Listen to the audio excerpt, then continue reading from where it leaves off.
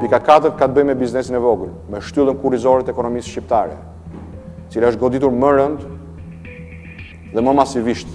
nga kriza ekonomike dhe nga mungesa e masave për t'u përballur me këtë krizë nga qeveria deri më sot. Për të gjitha bizneset shqiptare të regjistruara, bizneset e vogla shqiptare aktive të regjistruara në vend, një mbështetje drejtpërdrejt me një çek prej një mijë eurosh për çdo biznes të vogël aktiv. Dhe së pesti sa i përket biznesit prodhues dhe punëdhënësit e mëdhenj, dy masa.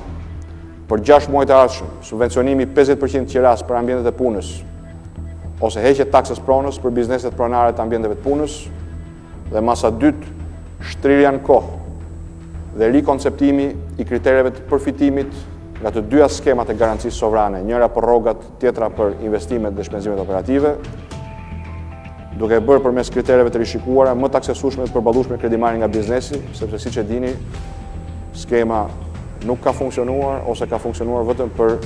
të dyshuarit e zakonshëm. Rikonceptimi i këtyre kritereve dhe përcaktimi i një tavani prej dy për qind të normës së interesit për biznesin, duke subvencionuar çdo përqindje mbi këtë vlerë sa i përket kredimarrjes për investime dhe shpenzime operative dhe duke mbajtur zero interesin duke subvencionuar plotësisht interesin sa i përket kredimarrjes për rrogat. Këto janë këto janë propozimet tona 5 hapa kundër krizës.